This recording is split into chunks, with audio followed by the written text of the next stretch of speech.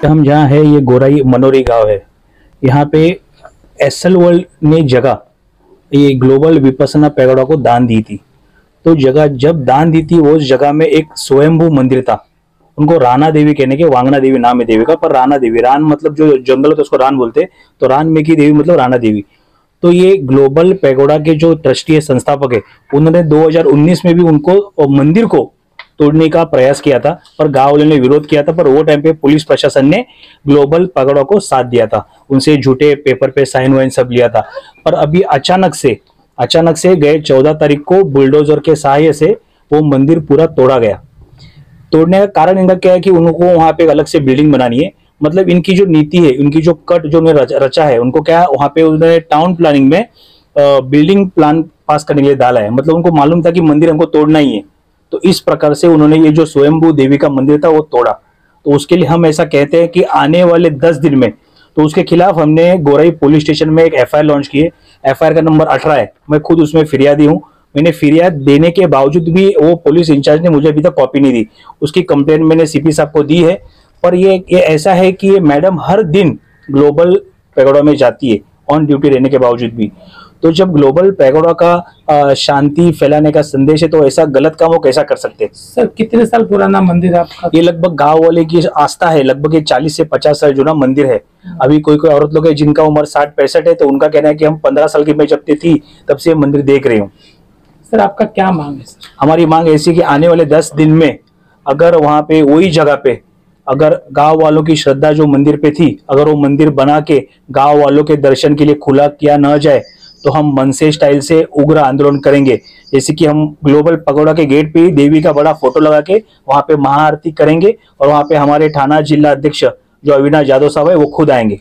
Sir इसके खिलाफ आपने कोर्ट में गए थे कोर्ट में क्या आश्वासन दिया या नहीं कोर्ट में तो नहीं गया मैंने माहिती अधिकार में हर एक डॉक्यूमेंट मांगे और वो हर एक डॉक्यूमेंट ग्लोबल पैगोडा के खिलाफ है।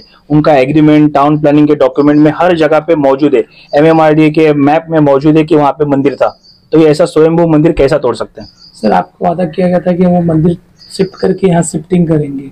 तो आपका शिफ्टिंग किया गया कि नहीं किया गया? नहीं नहीं कैसा है? ये शिफ्टिंग इसके लिए किया गया था कि जो गाँव वालों की आस्था है उसमें कहा कुछ आ, आ, कुछ हो नहीं। मतलब आस्था वैसी रहे उसके लिए खाली पाषाण की जो मूर्ति देवी की वो यहाँ पे एसरोड वाले ने शिफ्ट किया था। पर अगर जहाँ पे स्वयंभू स्वयंभू स्थान है वो जो मूल स्थान है देवी का वहाँ पे हमको मंदिर बना के चाहिए। आपकी मांग क्या है?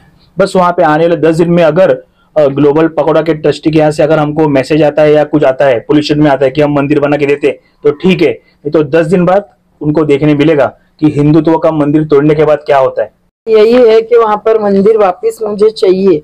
क्योंकि अभी गाँव वालों की वो आस्था स्थान है, उन लोग इतने सालों से उसकी पूजा पाठ करे और उन लोग ने जब जब से ये पैगोडा बना है, तब से वहाँ से उन्होंने एंट्री बंद कर दी। इसके लिए ये मंदिर यहाँ पर है और यहाँ पर लोग आके इसकी पूजा करते लेकिन जब वो स्वयंभू मंदिर है, जब 2019 में हम लोग ने बोला था कि हम लोग नहीं तोड़ेंगे, उसके बाद उन लोगों ने तोड़ दिया है। तो लोगों को मतलब बहुत दुख हुआ है उस बारे में।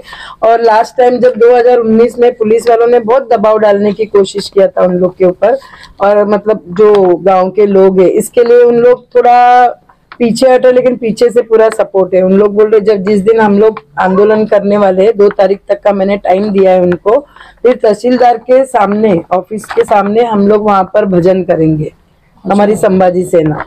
जिस प्रकार ट्रस्टी से आपकी बात हुई, ट्रस्टी ने क्या आपका आश्वासन ट्रस्टी से हमारी कोई बात ही नहीं है हम लोग अभी तक पुलिस स्टेशन से और पुलिस स्टेशन वाले हमको आश्वासन नहीं दे रहे।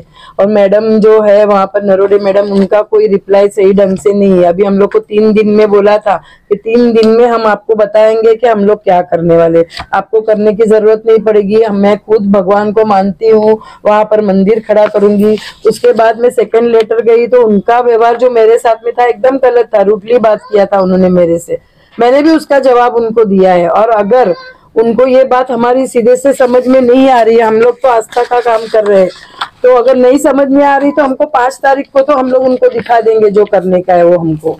मैडम अगर आप ये समस्या आपकी समाधान पूरी नहीं की गई हाँ। तो आपका आपका अगला एक्शन क्या रहेगा?